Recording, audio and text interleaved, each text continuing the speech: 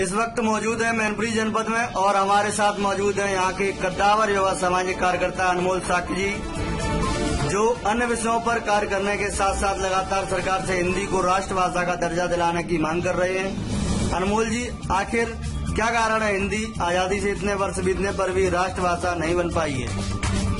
देखिए, मैं बहुत संक्षेप में कहूँगा।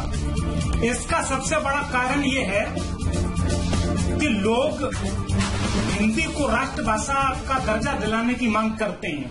लेकिन सिर्फ़ 14 सितंबर को। 14 सितंबर को लोग बहुत कहते मिल जाएँगे कि हिंदी को राष्ट्रभाषा का दर्जा दिया जाए।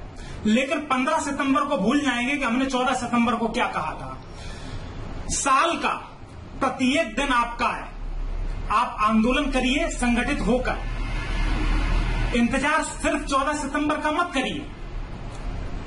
समाज के प्रत्येक व्यक्ति को संगठित होकर सरकार से मांग करनी चाहिए कि हिंदी को राष्ट्रभाषा का दर्जा दिया जाए।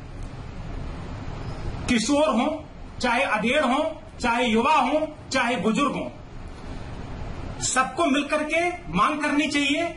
और ये तो एक ऐसा मुद्दा है जिस पर किसी को प्रॉब्लम नहीं होगी। और अगर होगी तो वो व्यक्ति इस देश से मोहब्बत नहीं करता है, प्रेम नहीं करता है उस व्यक्ति को तत्काल ये देश छोड़ देना चाहिए। दूसरा, कि हिंदी इतने वर्ष बीत गए, आज़ादी के इतने वर्ष बीतने के बावजूद भी राष्ट्रभाषा नहीं बन पाई, ये शर्मनाक है हर हिंदुस्तानी के लिए।